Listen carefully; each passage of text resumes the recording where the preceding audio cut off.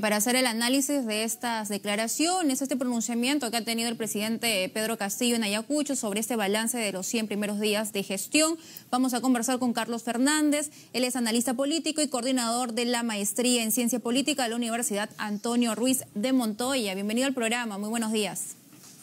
Buenos días, Carla, ¿qué tal? Un gusto tenerlo en el programa y sobre todo para darle esta mirada descentralizada, que eso es importante. ¿Cuál ha sido su apreciación en este anuncio, que ha, este balance que ha realizado el presidente Pedro Castillo el día de ayer?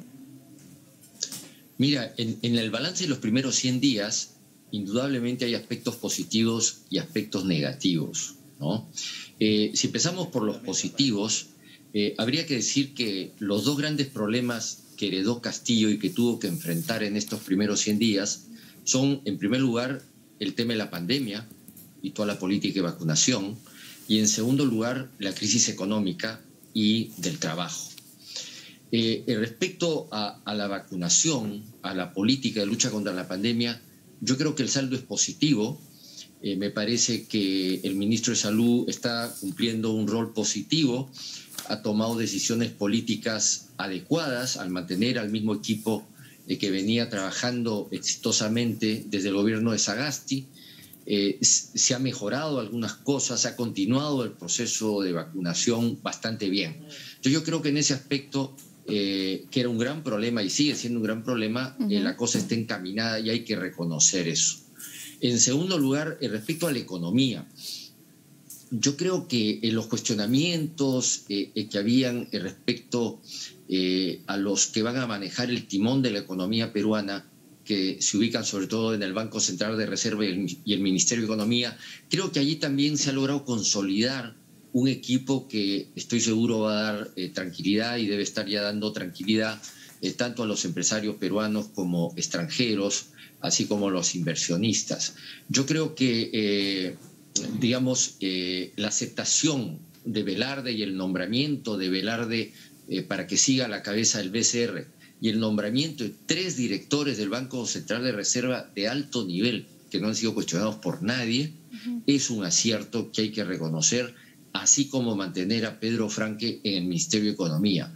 Yo creo que este equipo del BCR y el Ministerio de Economía eh, están en la capacidad de darle una estabilidad económica al país en los próximos años. ¿Cree que faltó tal vez en este balance hacer una autocrítica porque no se habló acerca de las crisis que hemos vivido ¿no? en estos 100 días, la caída del gabinete liderado por Guido Bellido, los ministros que fueron cuestionados, los que salieron, luego la presencia, esta conformación de un gabinete liderado por eh, Mirta Vázquez y esta nueva crisis que involucra al ministro de Defensa, Walter Ayala, con las Fuerzas Armadas. ¿Cree que faltó eso? Sí, eh, tú has entrado ya a los aspectos negativos que efectivamente eh, han, existido. Yo quería completar eh, en los positivos. dentro de los positivos también está el, cambio de gabinete, ¿no? Han, digamos, por propia voluntad o empujones, en algunos casos se han dado cambios en el, en el gabinete ministerial. ¿no? Se han cambiado cuatro ministros y yo creo que ha habido una mejoría. Todavía hay cambios que hay que realizar, ya todo el mundo sabe cuáles son, y ojalá el presidente eh, se dé cuenta de que tiene que mejorar bastante su gabinete. ya se ha mejorado, pero falta, ¿no? Es decir, debería aceptar la renuncia del ministro de Defensa, Walter Ayala. Yo creo que sí, eh, el de Walter Ayala y también el ministro de Transportes, eh, que a todas luces no, no es un experto ni en transporte ni en comunicaciones. Hay que nombrar gente con las capacidades y que conozca el sector, porque en transportes y comunicaciones se maneja muchísimo dinero y es dinero de todos los peruanos. Es decir, le estamos dando a una persona que no está capacitada que maneje nuestra plata. Yo creo que eso no está bien. Yo creo que hay que nombrar una persona que nos dé una cierta seguridad que nuestro dinero va a estar bien encaminado y bien utilizado.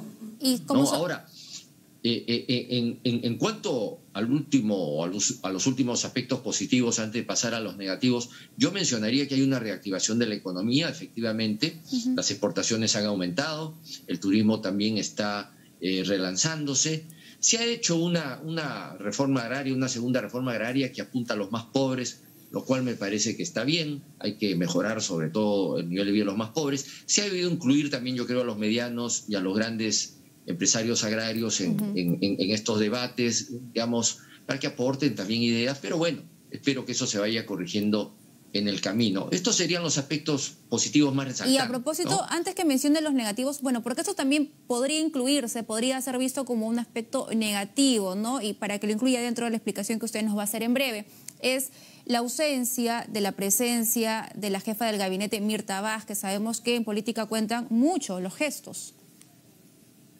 Sí, es que estamos en una etapa complicada del gobierno, ¿no? Eh, eh, en, términos de proceso político hay dos etapas. La etapa de campaña electoral y luego la etapa de gobierno. En la etapa de campaña electoral, bueno, Castillo fue con su grupo de maestros aliado de Perú Libre y Cerrón. En la segunda etapa, en este nuevo escenario de gobierno, ese matrimonio se está deshaciendo, porque hay dos visiones diferentes. Cerrón tiene una visión más comunista y Castillo pues no es comunista. Entonces, estos dos grupos que siempre existieron, pues están distanciándose cada vez más. Y estamos entrando en una nueva etapa sin Cerrón, en la época post-Cerrón. ¿no? Entonces, esa, ese, ese, tránsito, esa separación de este matrimonio, pues es un poco tortuoso, con dimes y diretes, con acusaciones, con peleas, como toda separación. Yo creo que estamos en esa etapa entrando a un nuevo gobierno, ¿no? Mirta Vázquez está iniciando un nuevo gobierno con eh, personas ya no eh, radicales de izquierda, sino más bien más eh, hacia el centro izquierda. Yo creo que hay un giro del gobierno hacia el centro izquierda que va a permitir darle gobernabilidad al país. Pero ¿cómo interpretar su ausencia? Quedó esa pregunta en el tintero.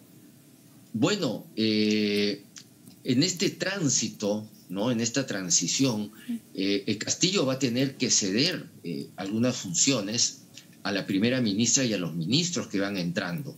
¿Por qué? Porque Castillo, como todos sabemos, pues tiene, así como tiene virtudes muy importantes que lo han llevado a ganar las elecciones, también tiene ciertas limitaciones, porque no tiene experiencia de gobierno. No ha sido ni alcalde, ni presidente regional, ni, consejero, ¿no? E, e, entonces está en un proceso de aprendizaje, ¿no? Entonces, mientras está en este proceso de aprendizaje, tiene que saber también buscar personas que complementen la experiencia que no tiene en el gobierno.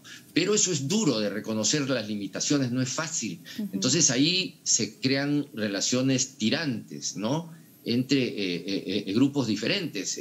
Castillo tiene su grupo y, Mirta tiene otro grupo. están empezando a acoplarse, a, a, distribuir funciones en una nueva etapa. Y eso tiene, por supuesto, sus problemas que estamos viendo. Muy bien, muchísimas gracias por esta mirada que nos ha podido brindar, una primera mirada, ya sin duda esperemos reencontrarnos en breve para conocer y seguir ahondando en estos aspectos. Muchas gracias por la entrevista, muy amable.